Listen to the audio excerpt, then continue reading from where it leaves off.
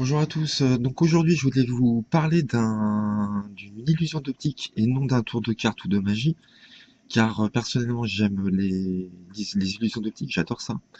Et donc j'avais vu cette illusion, sur une, émission euh, qui parlait d'illusion d'optique qui avait été présentée par Eric Antoine. Donc il avait ce petit truc-là, et donc ça m'avait interpellé, j'avais adoré l'effet, et donc je l'ai recherché sur internet, je l'ai trouvé. J'ai du mal à le trouver parce qu'il y a très peu d'exemplaires. Je l'ai acheté au Canada une vingtaine de dollars à peu près, donc une quinzaine d'euros. Et donc euh, c'est un- une illusion que j'adore euh, à faire. Et euh, je suis très content de l'avoir euh, reçu. Donc voilà, c'est une belle pièce en bois en plus.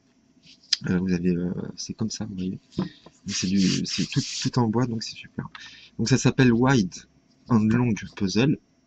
C'est-à-dire que vous avez puzzle une pièce longue et une pièce plus large et plus petite. D'accord? Vous voyez bien, j'espère.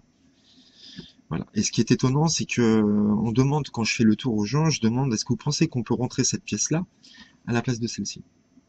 Normalement non, parce qu'on voit qu'elle est beaucoup plus longue que celle-ci, qui est beaucoup plus petite et plus large. Mais pourtant, si on enlève ce morceau-là, on peut le rentrer exactement dans celui-ci. Et celui-ci, vous allez me dire, est-ce qu'on peut le rentrer dans celui-là? Oui, on peut aussi. Vous voyez, on peut intervertir les deux pièces, et les deux pièces rentreront sans problème. Donc je vous remontre une dernière fois. On reprend la place initiale. Donc ce qui veut dire que si les deux pièces rentrent, ça veut dire qu'ils ont la même longueur.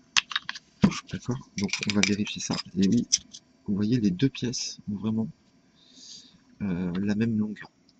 Je vous montre comme ça. C'est exactement le même diamètre, la même longueur, la même largeur. Et pourtant, on peut rentrer celle-ci ici sans problème. Et celle-ci aussi. Donc voilà, le cerveau ne voit pas euh, pareil, mais euh, c'est normal, il réagit à cause des perspectives qu'on a ici sur les côtés. C'est pour ça que vous avez cette illusion que celle-ci est beaucoup plus grande que celle-ci. Donc voilà, moi franchement j'aimais bien, donc c'était juste pour vous montrer ce petit truc, euh, cette petite illusion d'optique que j'avais acheté.